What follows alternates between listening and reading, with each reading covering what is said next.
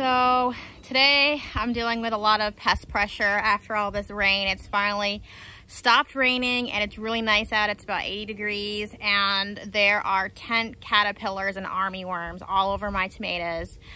The pumpkin does not look like it's gonna make it. It's succumbed to squash bugs and I'm definitely gonna have to do something about it here.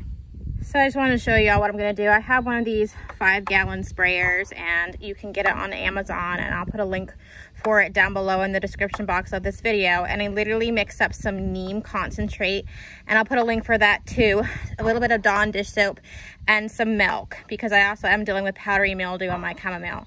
So I'm just going to go on and spray all these plants that are affected down with the pests and bacterial and fungal things because of all this rain. And I'm just going to show you what those little caterpillars look like. Can you all see that? Right there? That is the little suckers right there. There's also one there.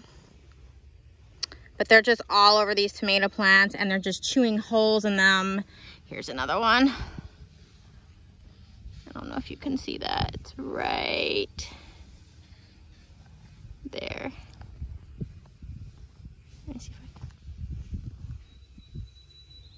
right there. But they're literally putting holes all in these poor tomatoes. Um, see, so definitely gonna spray these guys. I'm gonna take my sprayer, show you pump it first. Pump it all the way up until you can't pump it anymore. Make sure you lock it in place. And these things are really useful because uh, you don't really don't want to go through, like if you're having an infestation like this, and with a little tiny spray bottle and have to pump everything. I've done that before and it's a super pain. And I don't normally like doing this, but with such a large infestation like that, it's on these tomatoes, it's on the other tomatoes down here. Oh, look at that beautiful butterfly. See, that's why I don't like doing this. I won't spray the zinnias. I'll definitely have to spray the pumpkins. Oh, there's a monarch over there too. Look how gorgeous. Look at all these butterflies in my garden. See, this is why I don't like spraying, but sometimes you have to spray all these guys down, get under the leaves, get every part that you can. And I'm probably gonna have to do this a couple times before I get this under control. Die, you worm. Die, you caterpillar. I think they're dead. They're dying. I feel bad, but you're killing my tomato plants. Another right here. It looks like it killed most of them on these tomatoes over here. I'm just gonna go on and preventatively spray, I think, the little baby zucchini squash because they look like they're getting holes in them too.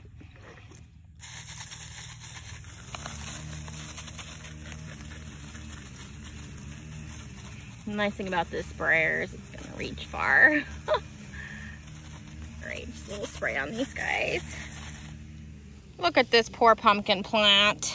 I don't think it's gonna make it. It was looking like it was yesterday. Oh, I don't know. These squash bugs are just mauling it to death and you think it probably has some vine borers and stuff like that. Oh, I don't know if there's gonna be any saving this plant. Um, also, when you do this, this also is very stressful to the plant, like spraying. Even if it's organic, it's gonna be very stressful for the plant. So just take note of that, that you might see signs of stress in your plant from spraying, even organic pesticide. Oh, look at those butterflies. I have lots of butterfly visitors to the garden this morning. It's absolutely gorgeous.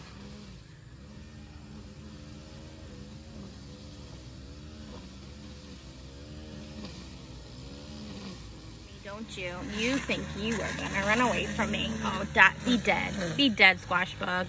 It's just a constant battle, guys, with these squash bugs. There's another one.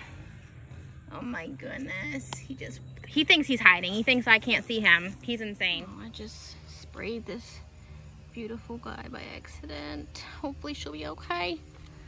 Hey, girl. Go into the orange one. On to the beefsteaks. I didn't see any of those caterpillars, those army caterpillars on them, but I'm just gonna do this as a preventative. I did notice it has a lot of black on some of the lower leaves, probably from all the rain, even though I pruned them, or from flea beetles. So I'm just gonna spray this as a preventative. This guy is huge. Some really nice tomatoes on here. Look what I found, guys. Can you see him? He's tucked in the leaf. I think this is the culprit right here. It might be a hornworm. Oh my goodness. He thought he was gonna hide. I don't know. Do y'all know what kind of caterpillar this is? I think this is the the mother or the father of those guys, but he's about to die. If y'all know what this is, please let me know down below in the comments so I can ID this. And he's dead. It's a sad, sad story, but that's just the way that it Actually, is. And I was hoping this wasn't the case, that there seemed to be some holes in my tomatoes and my fruit. And look at that, guys. Can you see that? That sucker, he friggin' bore holes in my tomatoes. I am very angry right now. I'm making sure I'm spraying on the back side of these tomato plants too, because I've seen several trying to hang on at the back sides and make sure if you can spray out the undersides of the leaves as well and bite the fruits.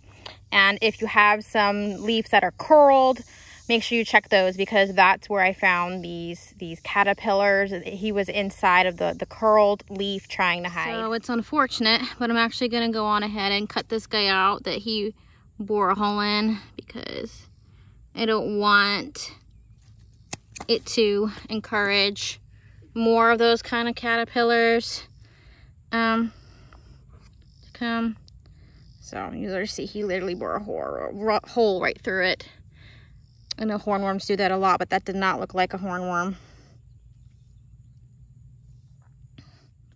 So like this one, I probably didn't need to cut off. This is actually probably from an ephaciated flower, which is literally just cat facing, which just means there was two or three flowers that kind of grew together.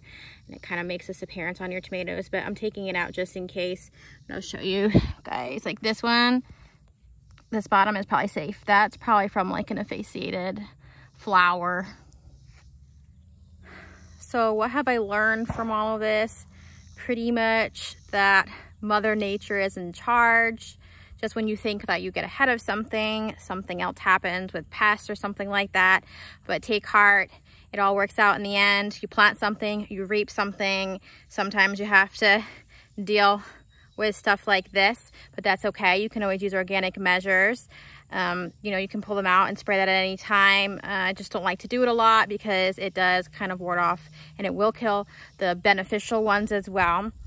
But yeah, so if you like this video, give it a thumbs up. If you have questions, leave them below in the comments. If you can help me with identifying that caterpillar, leave them below in the comments. Share, like, subscribe if you haven't already subscribed. Hit the notification bell to be notified when I post the next video. Be blessed, y'all.